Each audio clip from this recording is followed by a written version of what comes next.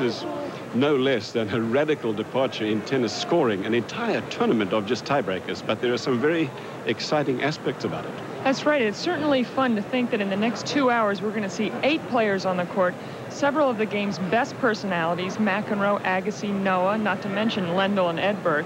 And usually in tennis, of course, on a Sunday, you're only going to see two players out on the court. Whereas with golf, you see 8, 10, 15 players sometimes. So I think it's going to be very exciting. We're going to know a lot more about it in about two hours from now. It is going to be interesting, no doubt.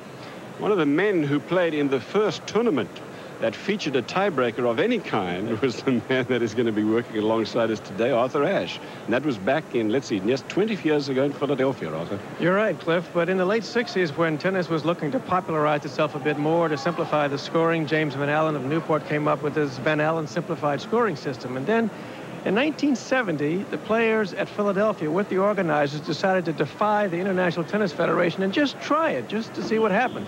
And it worked course, the most famous till that time after that was the 1972 WCT finals between Rod Laver, Ken Rosewall, and Ken Rosewall won that match, fifth set, tiebreaker. Tiebreaker has certainly made a difference to the world of tennis. This is a tournament of tiebreakers alone. I know that you're going to enjoy it. The shootout from Milan coming up on ABC the tennis shootout presented by Tots from the Forum in Milan, Italy. This place is humming. It is jammed, 14,000 people in this brand new arena, and they are excited and interested by what they just saw, which is the top eight players in the world walking onto the court. The top four seeded players in this event were asked to draw their names, or rather the names of their opponents, out of a hat. And here you see John McEnroe pulling out the name of what turned out to be Yannick Noah.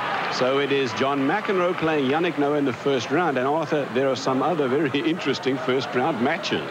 There certainly are. Down at the bottom, the number two seed, Ivan Lendl playing Pat Cash. Lendl plays very few loose points. He's uh, always there. He's always very focused. And Cash, notoriously slow starter, a lot of loose points. I've got to favor Lendl in that one. Arthur, what does it take to win a tiebreaker? It takes a, a mindset of, uh, of arrogance, of uh, a court presence, of uh, very positive thinking. And you've really got to keep your focus entirely on the court for as long as it takes. Well, where does that put a guy like, say, Stefan Edberg? Well, Stefan Edberg has a very aggressive style, which I think is favored in tiebreakers. Uh, my two choices here are Edberg first and then Yannick Noah, because on the other side, though you may be an underdog, for about 10 minutes, you could mm. be hmm. the best player in the world. Indeed. I think I may go with Andre Agassi because here's a guy who only knows one style of tennis. You know, he's not out there wondering what to do. He only does one thing, and that's beat the heck out of the ball.